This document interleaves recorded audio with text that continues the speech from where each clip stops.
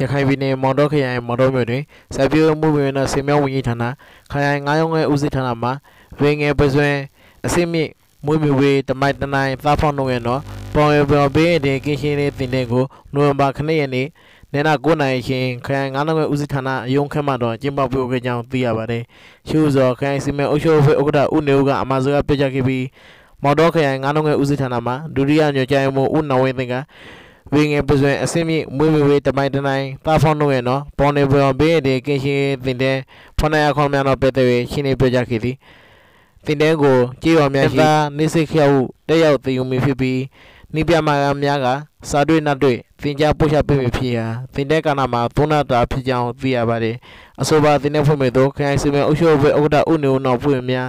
မြို့နယ်စီမံအုပ်ချုပ်ရေးဥက္ကဋ္ဌဦးကန်ထွန်းနောက်ဖွင့်များအဲငါးနှုတ်ရဲ့ဦးစီးဌာနမှာဒုတိယညွှန်ကြားရေးမှူးဦးနဝဲသိန်းတော်ဝဲထဲများခရိုင်မြို့နယ်စဉ်ဌာနဆိုင်ရာများတင်တဲ့သားများတက်ရောက်ခဲ့ရကြောင်းသိရပါတယ်ဒီသတင်းကိုတက်နစိုးအောင်ကျော်စိန်မော်တော်ခရိုင်ပြည်ဆက်ကပေးပို့ဆောင်ရွက်ထားတာဖြစ်ပါတယ်ခင်ဗျာ